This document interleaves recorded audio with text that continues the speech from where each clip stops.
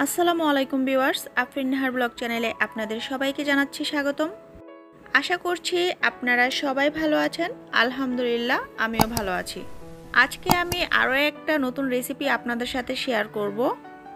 আর আজকে আমি যেই রেসিপিটা শেয়ার করতে যাচ্ছি, সেই রেসিপিটার নাম হলো মার্বেল কেক বা জ্যাব্রা কেক।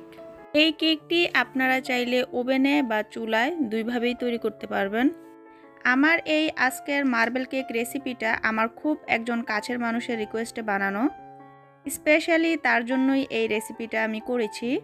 খুবই মজার একটা কেক, দেখতে যতটা চমৎকার, খেতে ঠিক ততটাই সুস্বাদু এবং খুবই স্পঞ্জি হয় আর খুবই অল্প উপকরণে এবং অল্প সময়ে এই কেকটা আপনারা বানিয়ে নিতে পারেন।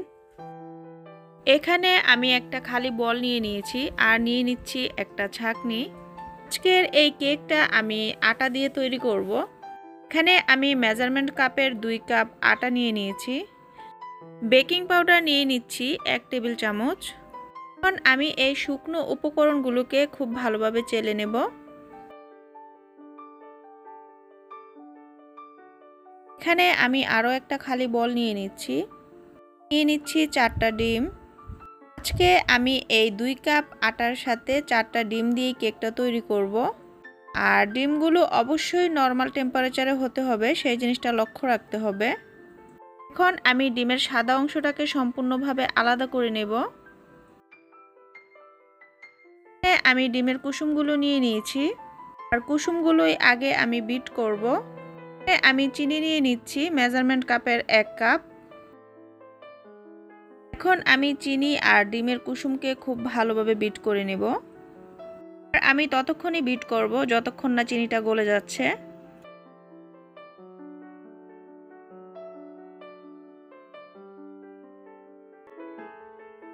সয়াবিন তেল দিয়ে দিচ্ছি হাফ কাপ। তেল দেওয়ার পর আবারও একটু ভালো করে বিট করে নেব, যেন তেল, ডিমের কুসুম এবং চিনি খুব ভালোভাবে মিশে যায়। এই পর্যায়ে আমি শুকনো উপকরণগুলো দিয়ে দিচ্ছি। আটা এবং বেকিং পাউডার আমি চেলে রেখেছিলাম, সেগুলোই এখানে দিয়ে দিচ্ছি। এবং একটা উইস্কারের সাহায্যে খুব ভালোভাবে শুকনো উপকরণগুলোকে মিশিয়ে নিচ্ছি। এই পর্যায়ে কোনোভাবেই ইলেকট্রিক বিটার ইউজ করা যাবে না। আপনারা উইস্কার বা স্প্যাচুলা এবং আপনাদের হাতের সাহায্যে এই কাজটি করতে পারেন।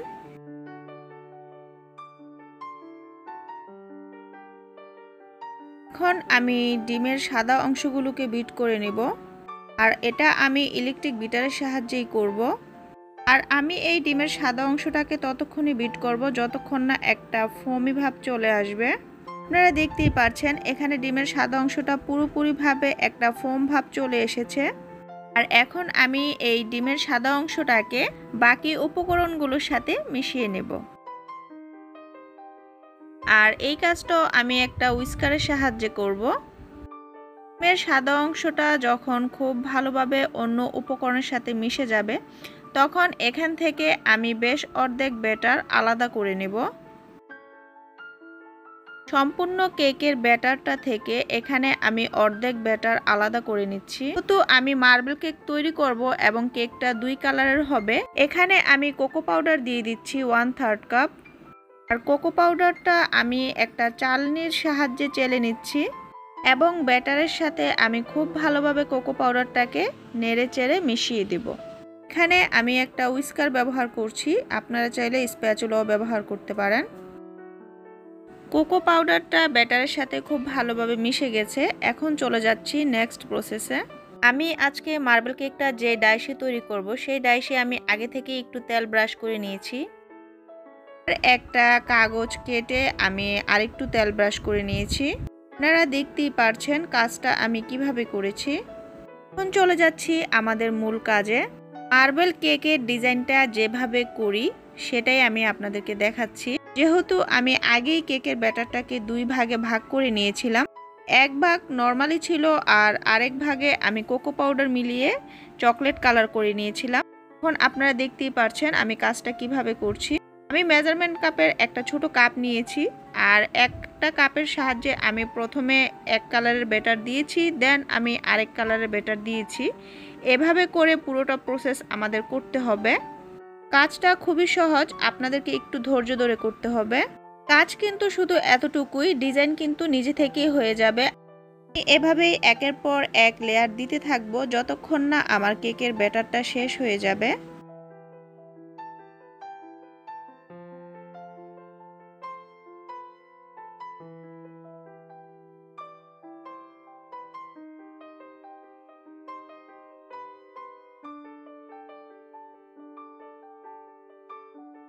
আর সবগুলো ব্যাটার প্রায় ঢালা হয়ে গিয়েছে। এখন চলে যাচ্ছি নেক্সট প্রসেসে এখানে আমি উপরে সামান্য একটু ডিজাইন করে দিচ্ছি। আপনারা একটা কাঠের সাহায্যে এই কাজটা করতে পারেন। আর আমি যেভাবে দেখিয়ে দিচ্ছি, আপনারা এভাবে ফলো করতে পারেন। এতে করে উপরে খুব সুন্দর একটা ফুলের ডিজাইন দেখা যাবে। কেকটা যখন তৈরি হয়ে যাবে, তখনও কিন্তু এই ডিজাইনটা থাকবে। আর কাঠি দিয়ে ডিজাইন করার সময় অবশ্যই প্রতিবার দাগ কাটার পরে একটু টিস্যু দিয়ে আবার কাঠিটা মুছে নেবেন, দেন আবার দাগ কাটবেন। এই কেকটা এখন আমি ওভেনে তৈরি করব। আপনারা চাইলে কিন্তু চুলায়ও তৈরি করতে পারেন। আমার কেকটি তৈরি হয়ে গিয়েছে। ওভেনে প্রায় 30 থেকে 35 মিনিটের মতো সময় লাগে কেকটা তৈরি হতে। চুলায় তৈরি করলে আপনাদের সময়টা আরেকটু বেশি লাগতে পারে। কেকটা কিছুটা ঠান্ডা হবার পর আমি একটা ছুরির সাহায্যে ডাইস থেকে কেকটাকে আলাদা করে নিচ্ছি। দেখলেন তো কত সুন্দর করে কেকটা তৈরি হয়ে গেল। আর এই কেকের ভেতরটা কেমন হয়েছে এবং কেকটা কতখানি ফ্লাফি হয়েছে সেটা আমি আপনাদেরকে এখন একটু দেখাচ্ছি। আমি এখন কেকটা আপনাদেরকে একটু কেটে দেখাবো। এই মার্বেল কেকটা দেখতে যতটা সুন্দর, খেতেও কিন্তু ঠিক ততটাই সুস্বাদু। আপনারা যতক্ষণ না বানিয়ে খাবেন বুঝতে পারবেন না। আর খুবই সহজে কেকটা বানিয়ে নেওয়া যায়। একটু ধৈর্য ধরে কাজগুলো করতে হয়। আর এখানে তো আপনারা দেখতেই পারছেন আমার কেকটা কতটা স্পঞ্জি হয়েছে। খুবই মজার একটা কেক। আপনারাও রেসিপিটা ফলো করে বানিয়ে নিতে পারেন। আমার এই মার্বেল কেক বা জেব্রা কেকের রেসিপি আপনাদের কাছে কেমন লেগেছে কমেন্ট বক্সে জানাতে কিন্তু ভুলবেন না। রেসিপিটি ভালো লেগে থাকলে অবশ্যই একটা লাইক করবেন। আর আমার চ্যানেলে নতুন হয়ে থাকলে অবশ্যই আমার চ্যানেলটি সাবস্ক্রাইব করে আমার পাশে থাকবেন। যারা আগে থেকে সাবস্ক্রাইব করে রেখেছেন, তাদেরকে জানাচ্ছি অসংখ্য ধন্যবাদ। তাহলে আর কথা না বাড়িয়ে আজকের মতো এখানেই বিদায় নিচ্ছি। আপনারা ভালো থাকবেন, আমাদের জন্য দোয়া করবেন। আর এই করোনাকালে নিজেও সেফে থাকবেন, ফ্যামিলিকেও সেফে রাখবেন। Stay home stay safe thank you for watching Allah Hafiz.